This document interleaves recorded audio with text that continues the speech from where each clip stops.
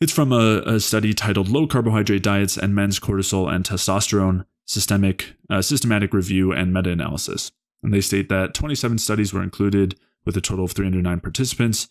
Short term, low versus high carbohydrate diets moderately increased resting cortisol, whereas long term, low carbohydrate diets had no consistent effect on resting cortisol. Of course, this is what Robb's been talking about. And the next piece they say is that low versus high carbohydrate diets resulted in much higher post exercise cortisol after long duration exercise, which is just over 20 minutes. And this was in both the long term and short term, is that they were noticing this higher post exercise cortisol.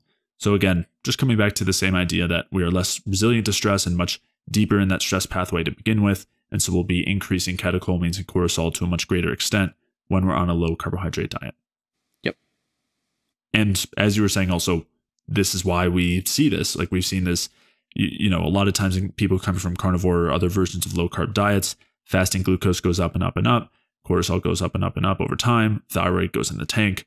All of that is is due to this excess stress, the excess glucagon, and then later on the excess cortisol, the reduced thyroid activity, all that.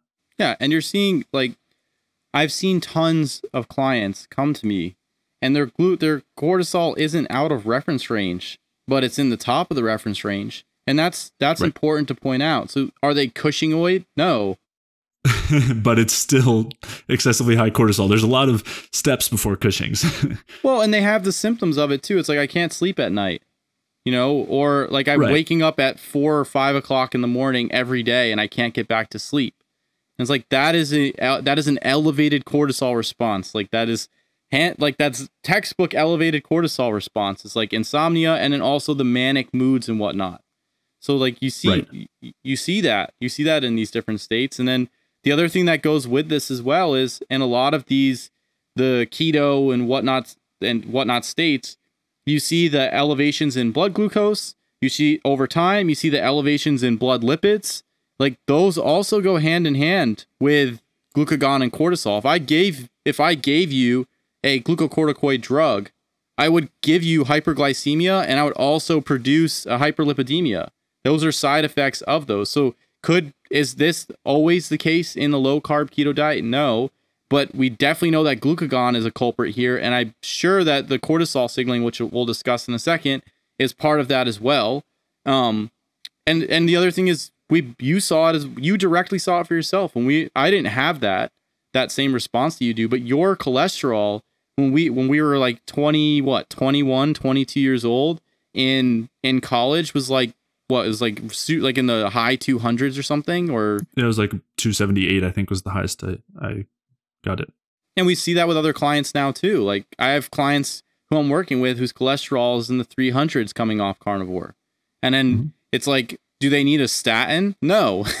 They need to eat more carbohydrate get their get their uh, insulin sensitivity working lower that glucocorticoid response lower that glucagon response and then increase their thyroid function there's a whole bunch of other sensing factors that are involved there with some of like the the the uh, more specific um like gene expression stuff.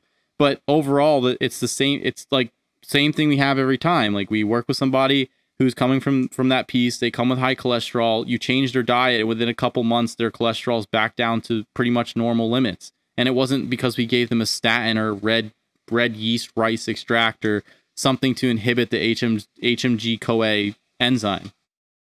Yeah, and it's also not we're not doing this because we think that cholesterol is going to clog up the arteries either. Just for reference, it's not we're not subscribing to that outdated idea either. I'll reference back to our our uh, discussions on cholesterol, our previous episodes, our series we did on cholesterol, just to uh, yeah. f- for people who are yeah wanting to understand more about that. I did want to say I've seen clients with a cholesterol of over 400. I know you said over 300, but yeah. yeah, it, it does that. And I also wanted to mention I've seen these very clear stress uh, symptoms on a low carb diet in people who are very particular about getting enough sodium. You know, they're taking salt tablets and doing a lot to get enough sodium, and that has not been enough to stop that stress response. And that's because sodium doesn't make up for the energy deficit that's there, even though it does help to uh, reduce the adrenal response for other reasons. But yeah, so I just wanted to throw that in because I know that's something that uh, Robb talks a lot about.